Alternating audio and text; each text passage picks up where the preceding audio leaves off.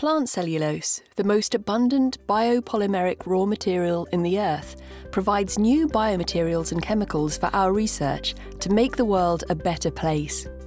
We are inspired to promote sustainable, green solutions, which can especially improve human health, reduce environmental impacts, and provide feasible products for the industry and companies.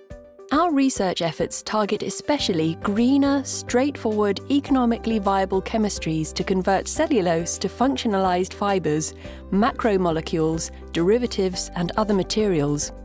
Our special interest is on fabrication chemically functionalized nanoscale celluloses, i.e., nanocelluloses, which is a diverse family of nature nanoparticles with unique properties.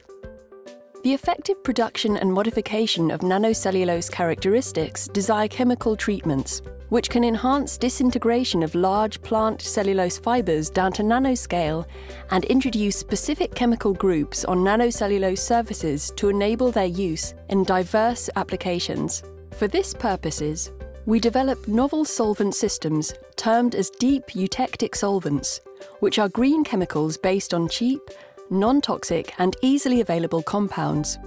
For example, they can be formed from choline chloride, an additive in chicken feed, and used to produce cellulose nanocrystals and nanofibrils suitable for several different material applications or chemical additives.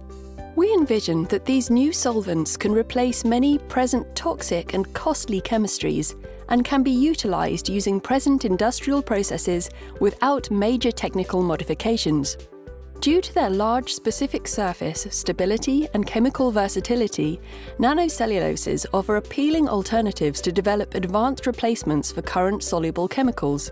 These functionalized bio-nanochemicals have diverse end uses in water treatment applications.